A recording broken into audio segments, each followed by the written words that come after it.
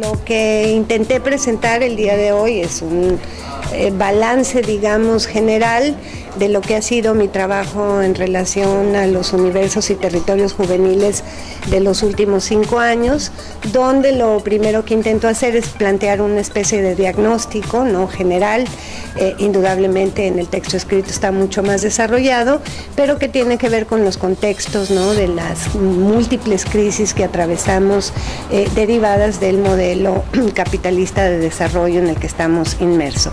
A partir de eso eh, desarrollé un, conjunto, digamos, de acercamientos a los diferentes territorios eh, de, los jóvenes, ¿no? especialmente en América Latina, a través de lo que llamo el circuito, ¿no? para tratar justamente de construir una articulación entre identidades, prácticas y contextos de despliegue de estas identidades y de estas prácticas, donde digamos ubico por lo menos cinco eh, circuitos, ¿no? que sería el de los inviables, estos jóvenes que ya están más allá de cualquier posibilidad de, eh, de, incorporación a una vida eh, digna, ¿no? donde estarían los migrantes, donde estarían estos jóvenes que se ven imposibilitados de salir de sus comunidades por la pobreza extrema. Un segundo circuito que sería el de los asimilados, que sería este circuito por el que transitan eh, jóvenes que, que, digamos, por falta de opciones han tenido que eh, digamos, eh, pactar con el sistema y aceptar condiciones de vida muy precarias, trabajo informal, ¿no? Trabajo incluso a veces denigrante, etcétera, etcétera. Un tercer circuito que sería el circuito de la paralegalidad, por donde transitan jóvenes, digamos, que han hecho un pacto, ¿no?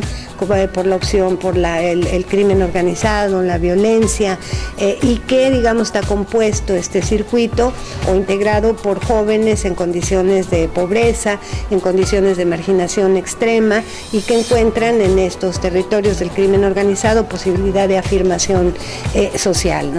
Un siguiente que tendría que ver con los incorporados, comillas, que todavía gozan de ciertas eh, garantías. Y finalmente un circuito de activistas, muy numeroso también, que estarían haciendo propuestas muy interesantes, digamos, eh, frente al sistema. Entonces, a partir de eso, lo que intento es justamente comparar eh, hacer un análisis comparativo y crítico de cuáles son los componentes, tanto de diferenciación como de similitud, entre jóvenes que están en circuitos precarizados y jóvenes que están en los circuitos del activismo.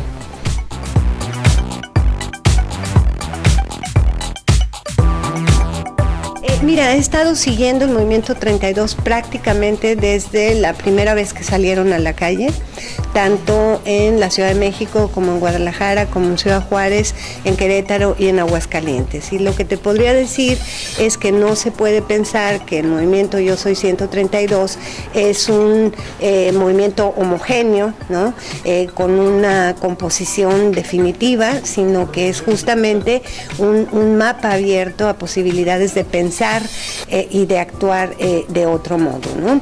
Yo diría que todavía no no hemos visto todo, ¿no? Es decir, los movimientos entran en fase de latencia, en fases de visibilidad y me parece que en este momento eh, el movimiento 132 se ve sometido en sus diferentes configuraciones regionales y locales a desafíos muy complejos que pasan justamente por sus intuiciones iniciales que tenían que ver con la democratización de medios, con una crítica profunda a los aparatos, digamos, de representación política, y, pero fundamentalmente a cómo van a incorporar las agendas locales para eh, repensarlas. ¿no? Entonces, estamos en un, en un proceso interesante. Yo sin duda eh, creo que, es mucho todavía lo que podemos esperar eh, por ahí y que justamente lo que acabamos de ver en el Distrito Federal hace eh, el 10 de junio, o sea, hace dos días, ¿no? Dos días,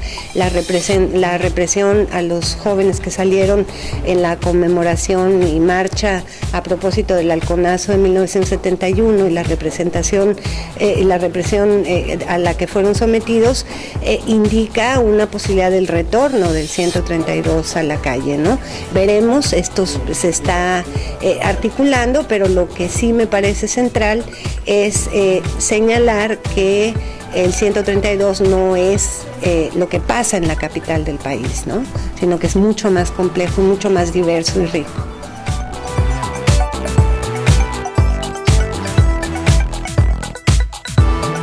Este es un proyecto que titulo Cuando morir no es suficiente, que es un título que tomo eh, parafraseando de una de mis entrevistas a uno de estos jóvenes, un ex sicario de la familia michoacana, cuando él al final de la entrevista y yo le pregunto que cómo se imagina su muerte, él me dice, eh, pues yo pienso que me gustaría morirme con una bala expansiva en la cabeza para ya no acordarme de nada, o mejor hecho pedacitos para evitarle a mi jefa el dolor de velarme. Y entonces él guarda silencio un rato y me dice, porque sabe, señor, en este jale ya no alcanza con morirse. Entonces a partir de esta entrevista yo tomo este título de Cuando morir no es suficiente para tratar de entender justamente los mundos del sicariato juvenil, la precarización, el modo en cómo se relacionan con la violencia, con sus cuerpos, con los cuerpos del otro. Y ha sido un proceso sumamente complejo y largo en el que llevo ya más de tres años y todavía, digamos, estoy por hacer algunas entrevistas más para poder tener, digamos, una algo que me interesa mucho, tener, digamos, las variaciones regionales, ¿no? Eh, eh, porque sí considero que los contextos locales tienen un papel central, ¿no? En el modo en que se configuran estas biografías.